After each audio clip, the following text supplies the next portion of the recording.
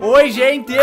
Hoje os humilhados foram exaltados. Eu tô surtando! Porque eu finalmente consegui comprar uma coisa que eu sempre quis, desde quando eu era um bebê. É, também não vamos exagerar. Mas o que importa é, Eu comprei um iPad! Aê, eu tô falido! E obviamente eu vou abrir aqui com vocês. Vamos lá. O modelo escolhido por mim foi o iPad Pro. É, meu filho, você tá achando que eu sou pouca bosta? Não sou, não. Eu sou muita bosta. E o que que é um peido pra quem já tá cagado? Já aproveitei que eu tava no fundo do poço E dei oi pra Samara. comprei uma capinha que transforma ele em um laptop. É, acho que é oficial. Eu tô falido. Então, pelo amor de Deus, já curte esse vídeo e me segue pra ajudar coitado. E vamos abrir. Que emoção. Ah, eu tô me sentindo uma mãe na hora do parto.